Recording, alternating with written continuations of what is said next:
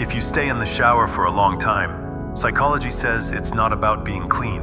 Your nervous system is trying to heal. When your brain is under chronic stress, your body produces cortisol and keeps your sympathetic nervous system active. This is the fight or flight response.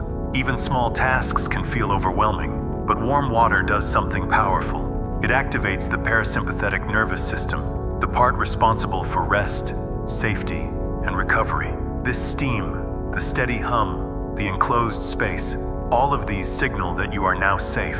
That's why you stay longer. Not to clean up, but because for once your brain isn't scanning for danger. This is why intrusive thoughts fall silent. This is why your heart rate slows. This is why, for the first time all day, so if the shower feels like a sacred place, it's not a bad habit.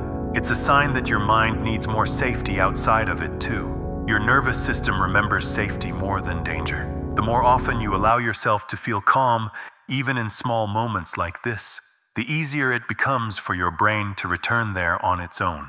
This is not weakness. Follow the daily nerve tips and how it works.